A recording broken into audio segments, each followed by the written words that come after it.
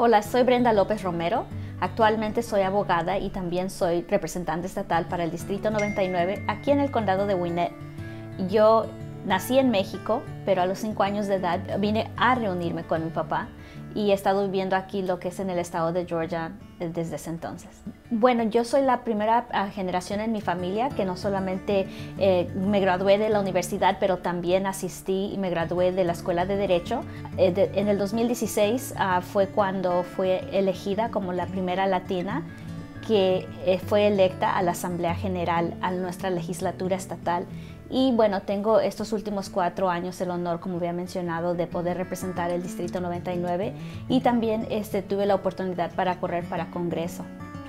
Cuando yo estaba niña, mis papás se divorciaron y yo recuerdo que platicaba mucho con el abogado que tenía mi papá y una de las cosas que me decía es que él ah, ayudaba a las personas y ayudaba a las familias y yo le dije que bueno, que yo también quería ayudar a las personas. a nivel federal en el 2004-2005 y a nivel estatal estaban presentando mucha legislación anti-inmigrante, incluso a nivel federal, legislación que hubiera criminalizado la presencia indocumentada de las personas. También hubo un cambio por la Junta Directiva em, eh, Universitaria que quitó la matrícula estatal para estudiantes que eran indocumentados mucho antes que, eh, que, se estableciera DACA y que ahora sigue afectando también a estudiantes que, que son recipientes de DACA.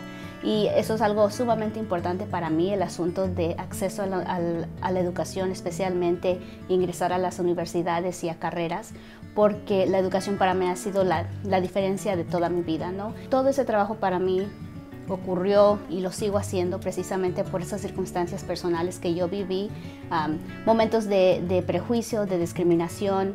Para mí la razón que es más un honor y es un privilegio de poder hablar con ustedes, de poder recibir este, premio con, con las otras personas que están recibiendo premios y también de los años previos, es precisamente porque este trabajo no es únicamente mío. Una de las cosas que siempre tengo que decir, no solamente es a favor de las personas que me han apoyado, pero también he tenido un equipo muy importante alrededor de mí. Mi recomendación o consejo más importante que puedo dar es que tiene que uno trabajar.